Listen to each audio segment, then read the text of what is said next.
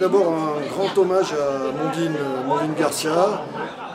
J'ai eu la chance de le côtoyer pendant une dizaine d'années et, qui m'a appris les rudiments parce que j'ai commencé très très tard la guitare. Et c'est grâce, à, grâce à lui, à Ninine, euh, que j'ai pu exercer maintenant ce, petit métier. Enfin, un petit métier pour moi parce que j'ai un petit niveau par rapport aux autres. C'est une grande passion et une histoire d'amour. Euh, Mondine, il m'a apporté surtout cette, élégance. Il avait une élégance rare euh, et un, sens de l'esthétisme assez, assez aigu.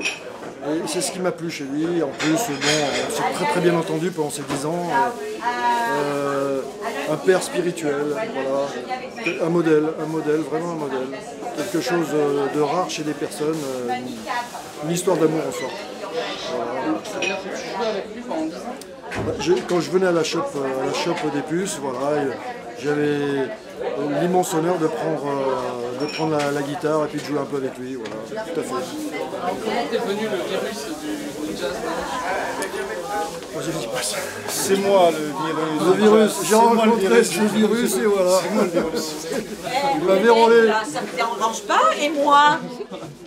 Bah voilà le virus, tiens, en parlant de virus, voilà, c'est une histoire d'amour le jazz manouche, passion, on tire un fil et et ce fil, hélas, se déroule tout le temps, une histoire sans fin. Bah oui, depuis, euh, depuis justement cette époque-là, ben, j'ai pris des dispositions et je, fais ce métier-là. Voilà. J'essaye de le faire, avec, toujours en pensant à, bah, la chope des puces, parce que je ne le fais pas ici, je le fais en Charente-Maritime vers La Rochelle. Il y a beaucoup de musiciens justement qui portent encore le drapeau. Et je crois que c'est parti pour être pour, exister, pour exister réellement, ça fait partie du patrimoine maintenant national, je pense, et international aussi.